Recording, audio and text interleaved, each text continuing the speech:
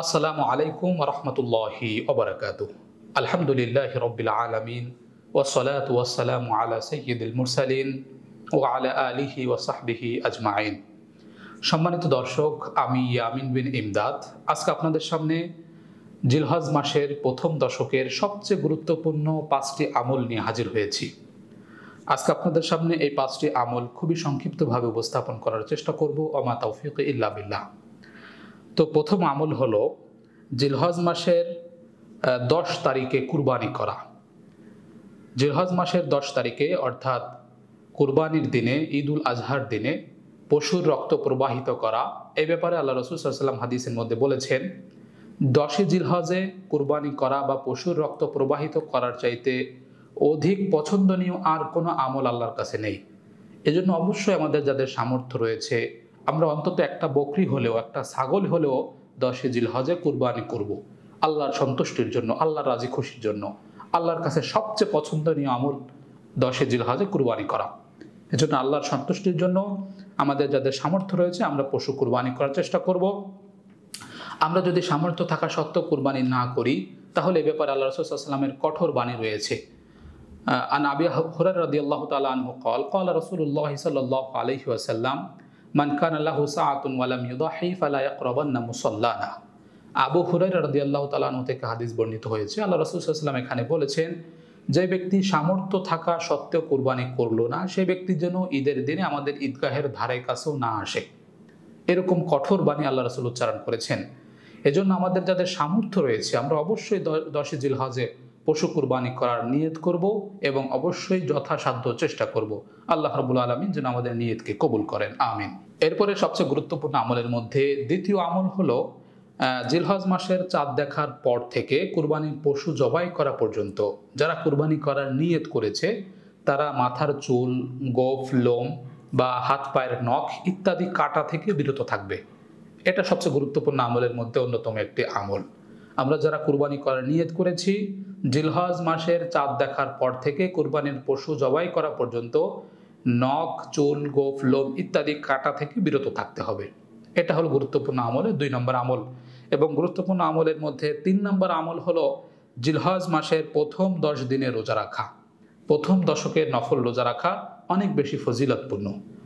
তবে কেউ যদি প্রথম দশকের নফল রোজা রাখতে না পারে, তাহলে অবশ্য অন্তত আরাফার দিনে, অন্তত একটা আরাফার রোজা রাখা হাদিসের মধ্যে উল্লেখ আছে, যে ব্যক্তি আরাফার দিবসে একটি রোজা রাখল, সে ব্যক্তির বিগত এবং আগত এক বছরের সগিরা গুণাগুলো আল্লাহ মাফ করে দিবে। সুবাহান আল্লাহ তো যে ব্যক্তি আরাফার একটা রোজা রাখল, সেই ব্যক্তির বিগত, আগত এক বছরের সমস্ত সগিরা গুণাগুলো ক্ষমা হয়ে গেল।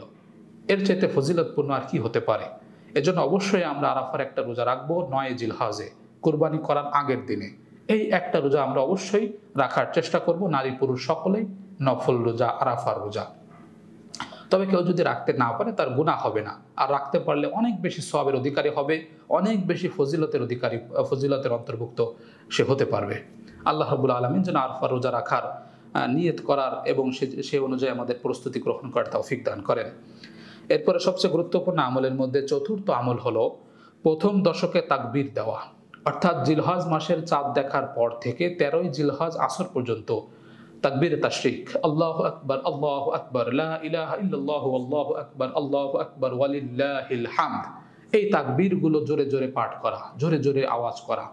হাদিসের মধ্যে পাওয়া যায়, জিলহজ মাসের চাঁদ দেখার পর থেকে সাহাবাই কেরাম সকল জায়গায় বিচরণ করতেন এবং তাকবীরগুলো বলতেন। মাঠে, ঘাটে, মসজিদে, বাজারে, সব জায়গায় যখন যেখানে যাইতেন, সেখানে এরকম জোরে জোরে বলতেন, আল্লাহ আকবর আল্লাহ আকবর, লা ইলাহা ইল্লাল্লাহু, আল্লাহু আকবার আল্লাহু আকবার, ওয়ালিল্লাহিল হামদ। এরকম তাকবীর দিতেন। আমরাও জিলহজ মাসের চাঁদ দেখার পর থেকে এরকম তাকবীর দিব। আল্লাহর বড়ত্বের, আল্লাহর গুণগান এভাবে আমরা জোরে জোরে পাঠ করব। এবং তার মধ্যে গুরুত্বপূর্ণ হলো নয় জিলহাজ থেকে তেরোই জিলহাজ। এ ব্যাপারেও বিস্তারিত হাদিসের মধ্যে আছে স্পেসিফিকভাবে আছে। যে নয় জিলহাজ ফজর থেকে তেরোই জিলহাজ আসর পর্যন্ত এই কয়টা দিনকে তাকবির তাশরিকের দিন হিসেবে চিহ্নিত করা হয়েছে। নয় জিলহাজ ফজরের নামাজের পর থেকে শুরু করব এবং আসরের নামাজের শেষ পর্যন্ত এই তাকবির প্রত্যেক ফরজ নামাজের পরে অন্তত একবার হলেও নারী পুরুষ সকলেই বলব, আল্লাহ আকবার আল্লাহ আকবার, লা ইলাহা ইল্লাল্লাহু আল্লাহু আকবার আল্লাহু আকবার, ওয়ালিল্লাহিল হামদ। নারী পুরুষ সকলেই, যারা মসজিদের ইমাম সাহেব রয়েছেন, খতিব সাহেব রয়েছেন, জুমার নামাজের সময় মুসল্লিদেরকে অবহিত করবেন যেন নয় জিলহজ থেকে তেরোই জিলহাজ আসর পর্যন্ত এই তাকবির, তাশরিক এই তাকবিরগুলো জোরে জোরে পাঠ করে সকলে অন্তত একবার হলেও সালাম ফিরানোর পরে। অর্থাৎ ফরজ নামাজের সালাম ফেরানোর সাথে সাথেই আমরা জোরে জোরে বলব, আল্লাহ আকবর আল্লাহ আকবর আল্লাহ আকবর আল্লাহ আকবর, ওয়ালিল্লাহিল এটা গুরুত্বপূর্ণ একটি আমলের মধ্যে অন্যতম।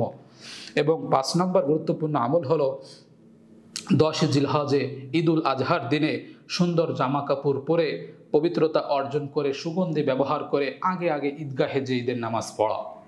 ঈদুল ফিতরে আমরা একটু দেরি করে যাই, তবে ঈদুল আজহা একটু বেশি সকাল সকালে ঈদগাহে চলে যাওয়া, একটু দ্রুত ঈদের নামাজ পড়ে চলে আসা এবং সেই সাথে কোরবানির পশু জবাই করে সেই কোরবানির পশু থেকে সকালের নাস্তা করা, সেই পশুর গোস্ত থেকে রান্না করে সকালে নাস্তা করা, এটা একটা সুন্নত, গুরুত্বপূর্ণ একটি আমল। এজন্য আমরা অবশ্যই চেষ্টা করব ঈদুল আজহায় একটু সকাল সকাল ঈদগাহে চলে যাওয়া এবং তাড়াতাড়ি নামাজ পড়ে চলে আসা এবং পশু কুরবানি করা।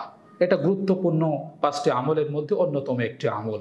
তো আজকে যে আমলগুলোর কথা উল্লেখ করলাম, আল্লাহ রবুল আলমিন যেন এই আমলগুলো আমাদেরকে বুঝে শুনে সঠিকভাবে পালন করার, আদায় করার তৌফিক দান করেন এবং আল্লাহ রাজি খুশির জন্য আমরা যেন আগে আগে ঈদগাহে চলে যেতে পারি, ঈদের নামাজ পড়ে আসতে পারি এবং আল্লাহর সন্তুষ্টির জন্য, আল্লাহর রাজি খুশির জন্য পশু কুরবানি করতে পারি। আল্লাহ যেন আমাদের এই কুরবানিকে কবুল করেন। আমিন। ও আখদাওয়ান আলহামদুলিল্লাহ রবিল আলমিন। আসসালামু আলাইকুম রহমতুল্লাহি ওবরাকাত